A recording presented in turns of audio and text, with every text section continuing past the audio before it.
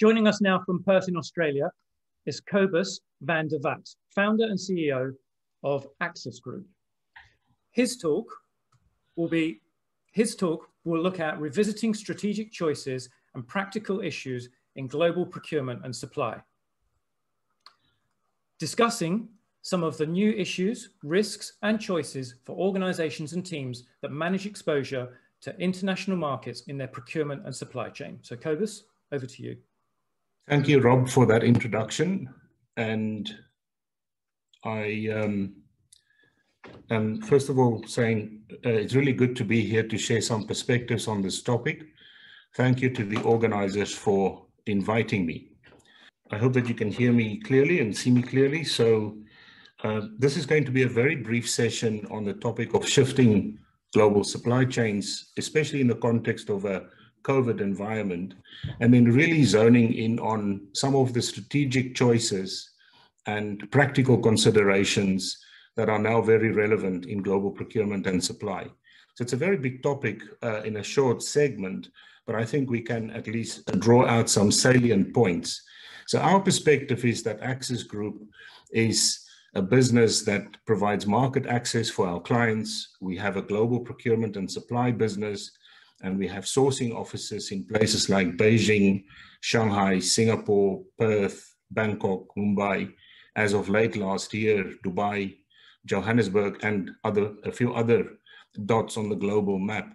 We also have an international market expansion business and a cross-border corporate advisory business.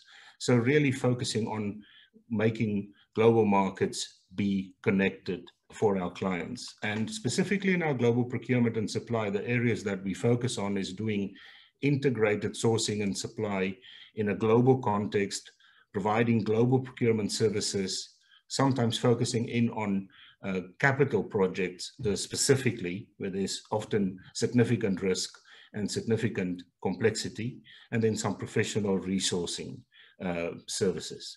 So to set the scene, if we think of what happened over the last nine months, the world suddenly became very small. In fact, everyone clearly became connected. So when we ask this question of what about global procurement and supply, key questions come into play. For example, why would you do global procurement if you are so fragile and vulnerable in the global context, as was clearly proven in the last several months? Where would you procure? What would you procure in terms of your spend basket from global markets? And what would you rather uh, you know uh, in terms of a, a, a, a buyers procure in a local uh, market? And of course how would you go about that? And meanwhile big questions like make versus buy which mark which models which countries which suppliers which engagement models will be features of the background so I've structured this really just very quickly, a few points on shifts in trade, the risk context and the challenges that it throws up, strategic imperatives at top management, senior management level, and then for practitioners day to day, what are some of the practical things to remind ourselves of, of and then a few final um, uh, words. So firstly, it is very clear from 1990 to where we are now that the global exporters, so those countries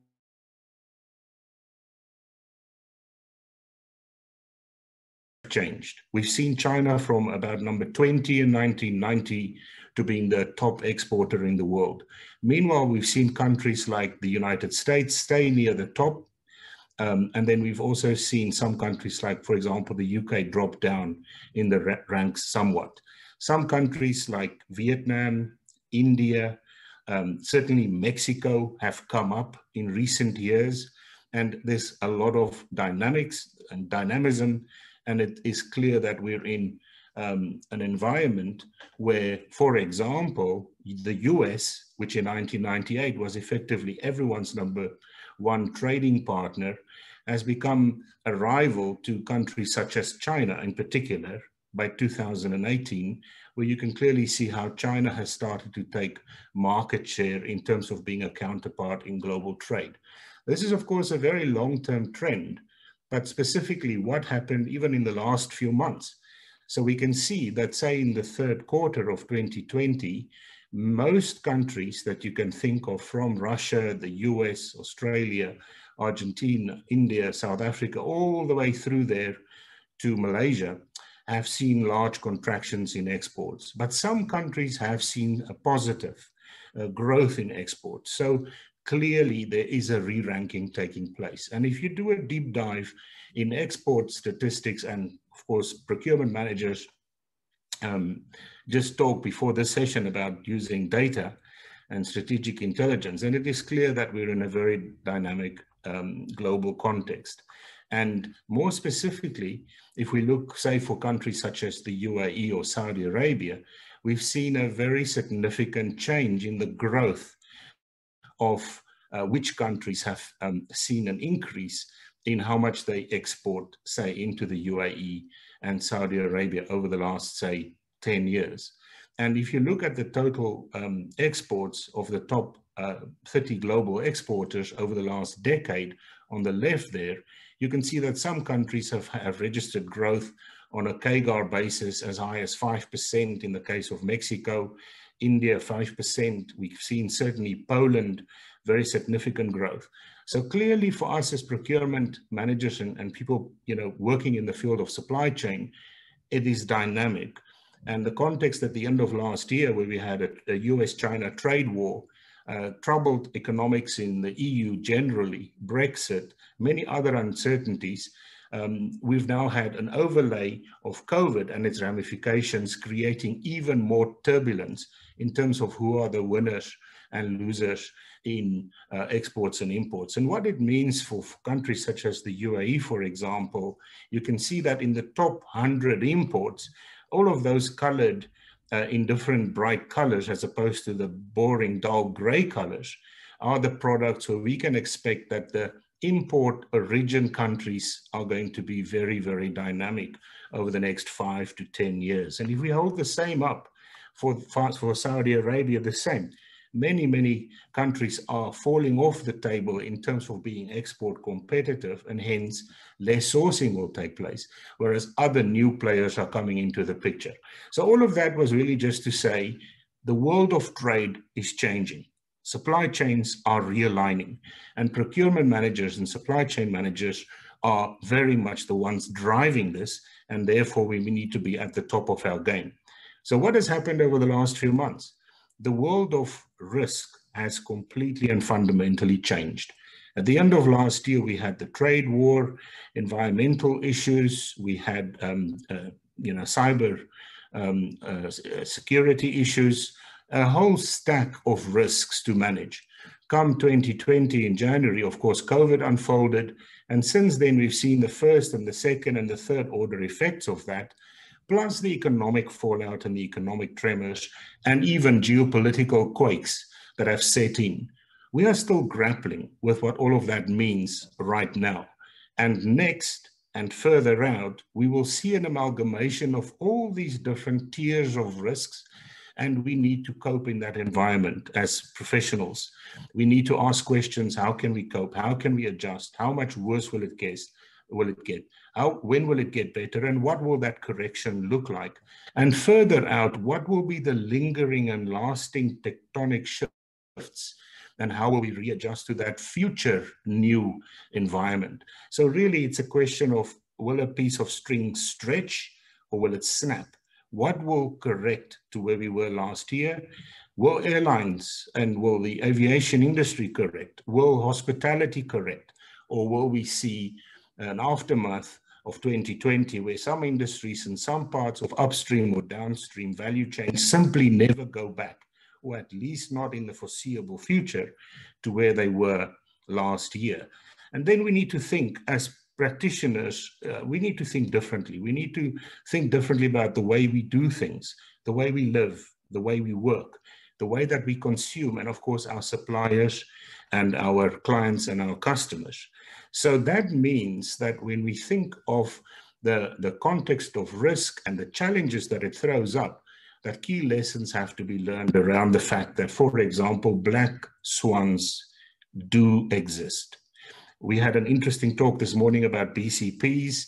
Clearly, it shouldn't be something in a drawer with the key locked and the key perhaps no one can find it. We need to understand that black swans do exist and we need to plan for that. We need to have um, uh, tested methods and methodologies and practices and procedures in place. We also need to get the basics exactly right. We can't tinker with the basics when things start to happen. We need to be worried about the higher order issues, not the basics. We need to fully appreciate the interconnectedness of things, and we need to have an absolutely holistic view of the world. And of course, rethink some of our old habits. In terms of new thinking, we need to have a dictum that preempt and anticipate. Think globally, everything is connected. And of course, we need to have full and complete 2020 visibility of our supply chain, of our suppliers and even their suppliers. And we need to think very carefully when we say mitigation costs are too high. Are they really too high or can you actually, in fact, not afford to not pay those costs in order to be in good shape when things go wrong? And ultimately, we need to make sure that an organizational culture exists to deal with risks and deal with the challenges so what does that mean for the boardroom in terms of strategic imperatives? It certainly means that we need to think of supply chain and global procurement and supply as something that belongs at the top table. Information quality and speed is essential. The supply-based portfolio and the balance between global, local, regional, domestic, multi-domestic, international becomes super important. And the interface in the in the the interlinkages between technology and people becomes super important. And of course we can't all you know no one can do everything. So partnerships and collaborations become very important in mitigating um, you know for the future that is unstable. In terms of practical considerations clearly we need to engage with suppliers in a different way and also our customers we need to think of logistics and supply chain uh, uh, as being optimized at all times and the visibility upstream, downstream, across our value chain and supply chain from A to Z is a must. And of course, it brings into play lots of practical things like revisiting inventory management and what constitutes or, or means or implies um, you know, sufficient or necessary or minimum inventory levels. It also means that we need to keep that balance between um, preserving resilience and managing cost. Let's not um, be um, uh, uh, penny wise but pound foolish. And then finally, we need to think about sustainable sourcing even in these difficult times. And really then across the chain of activity from supply market assessments to um, supplier analysis, engagement and process management, there are certain bubbles that you can see and you need to find your focus. Where are you most vulnerable? Is it analytics? Is it strategy? Is it people? Is it can you manage complexity? Can you manage negotiations across regions across languages across distances? And can you do it at speed when you need to do supplier discovery very quickly as we've seen some had to do over the last few months doing contract management with multiple sources um, of supply. For example, so many people have in the last six or nine months realized they may be overexposed to certain markets, uh, China being a case in point.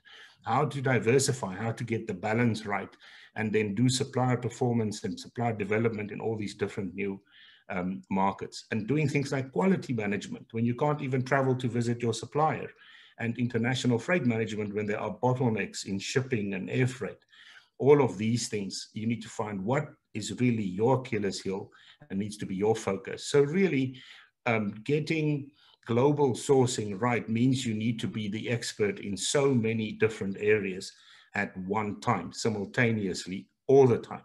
And this is a big ask. So um, with my time coming to an end, I'm just going to make a few final points. One, global supply chains are realigning. That is clear. Trade patterns show it clearly geopolitics, geostrategy, uh, COVID, local, global considerations, all of this rolls up into a clear fact that global supply chains are realigning. It also means there is more risk, and that necessitates better risk management. There's no excuse. And in the end, the single biggest dif dif differentiator to get that right is leadership at all levels of the organization, but from the top. And information, digital and tech, people and teams the supplier mix, partnerships and collaboration a close second after leadership. And in the end, at a practical level, there are still much to mention, but it's about the right things right. And of course, not just thinking and planning and strategizing, but actually during implementation. So with that, I'm going to pause and just say thank you very much for having been invited. I'm going to leave this presentation for anyone that wanted to um, look at it. There's about 40 slides here. I've covered about 15, but there's perhaps a little bit more richness in some of the other um, slides for anyone curious about some of our thoughts uh, in terms of this topic. Thank you very much.